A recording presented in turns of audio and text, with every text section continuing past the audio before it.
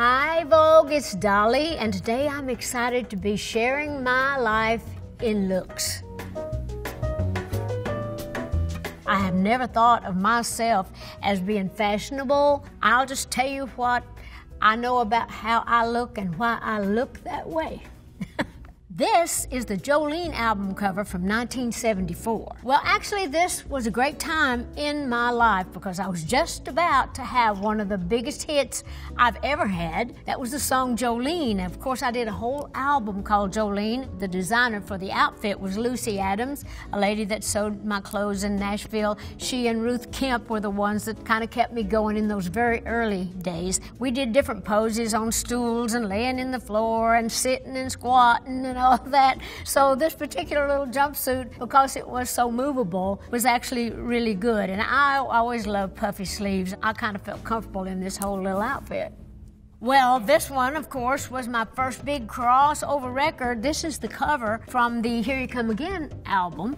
I might have put this together myself. It's just a shirt with a knot tied in my belly and a pair of blue jeans. But that big old puffy hair, I would imagine somebody probably said, Won't you do kind of like a little Marilyn look? Marilyn Manson, more like it. But anyhow, I was so hoping that this particular record, Here You Come Again, was going to be a hit because all of my fans in country, a lot of the people in the business were saying, Dolly, you're making a big mistake. You don't need to leave country music. I said, I'm not leaving country. I'll take country with me wherever I go because I am country. But I was so happy when Here You Come Again became my first million selling record. So every picture and everything to do with that is real special to me.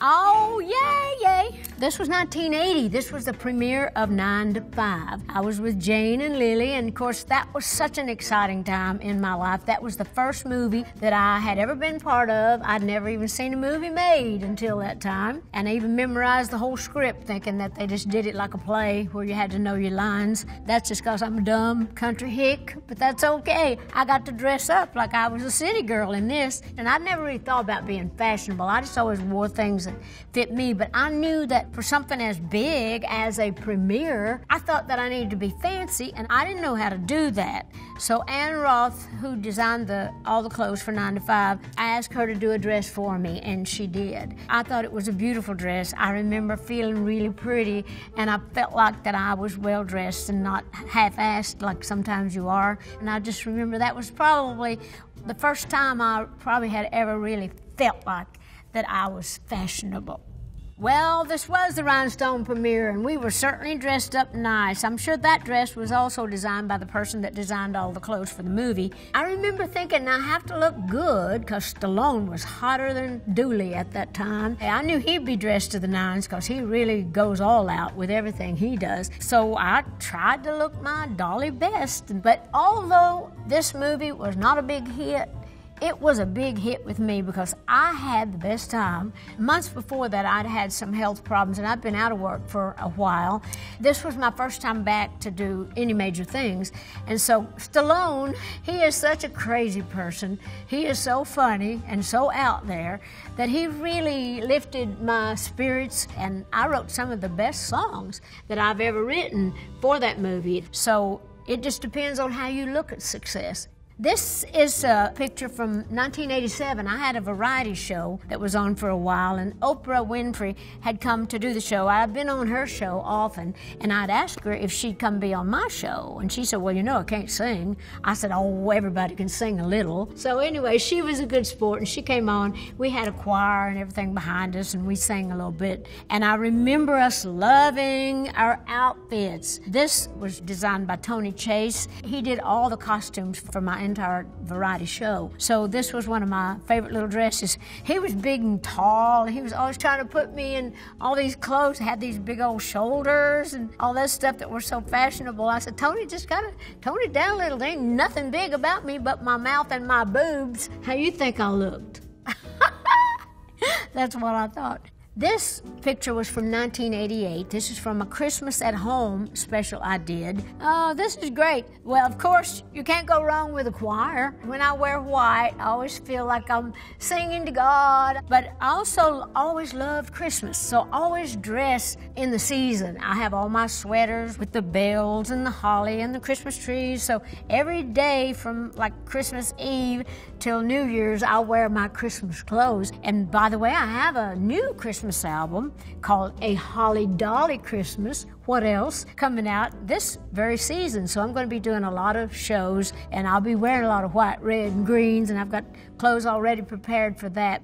Well, hey, this one's from 1989. This was also designed by Tony Chase. All the clothes I wore that night were designed by Tony Chase, except the little skits I did that I kind of had to wear little clothes that they had. But I was hosting the show and I was also the musical guest. And my look is not easy. I don't just go put on a shirt uh, to do something. I have to totally tear it all down, take the hair off, take the clothes off, get it all on. And I mean, I was a nervous wreck and I was worn to a frazzle before that show was over. But I had some of the greatest costumes on that.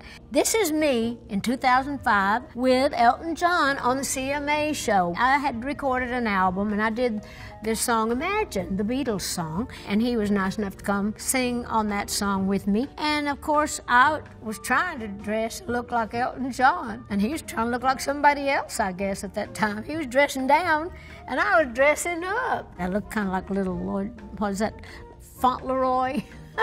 little Lord Fauntleroy, kind of freely and all that. Well, I know that I always like to wear a lot of makeup. More than probably I should wear, but I think more is more, and whoever made up that less is more is full of it.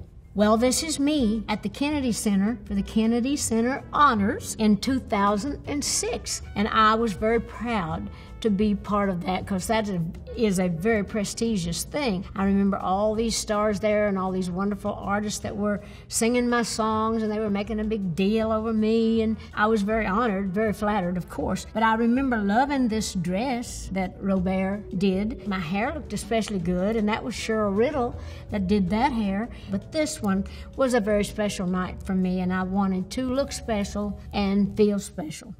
And I did. Well, this is 2014, and I was at Glastonbury Festival. I was a little scared to go to the festival because I thought they're not going to know who I am. They're not going to like my music, and it turned out to be one of the greatest things I've ever done, and it'll probably go down in history as uh, one of the my biggest uh, successes, really. And this outfit was a big success with me too. Steve Summers designed this wonderful outfit because I love to work in pants, but these pants kind of have a gauzy, see-through net it legs and I sit on the stool a lot. I'm up and down, so it's hard for me to work in a in a glamorous dress. So Steve designed this outfit that had all the glamour of a dress, but all the good ways that I could move about and make it still look glamorous and durable. So this was a wonderful outfit and this was a wonderful day. All those people out there, I mean, I don't know how many, a couple hundred thousand people, biggest crowd I'd ever worked to. And they seemed to like me. This is 2019 at the Grammys. I had been honored for MusiCares the night before. And Miley Cyrus, who is my goddaughter and I love, I've known her since she was a tiny little baby, she was singing with me that night on uh, one of my songs. We felt very pretty. She was dressed in, I don't know who designed hers, but mine was Steve Summers. Billy Ray and I, her dad, were friends uh, early on. But Molly also loves my songs and she's recorded Jolene, and that's one of her songs that she has in all her shows. So, because of her, when she was young on Hannah Montana, I kind of gathered all this whole new generation of young fans. I really credit Miley a lot for some of my younger fans and a lot of the new generation of girls that know her, that know she, knows me. It is kind of like a wonderful little connection I have with Miley and Billy Ray. They're like family to me. Well, okay thank you, Vogue, for having me on and for allowing me to kind of lead you back through all the things in my life. Not all, but some of the highlights of them. I've had a wonderful life, and I thank all of you out there for making that happen. And I thank Vogue for letting me kind of share that with you again. So, Merry Christmas, everybody. Go buy my album. I need the money because I need to buy some fashionable clothes.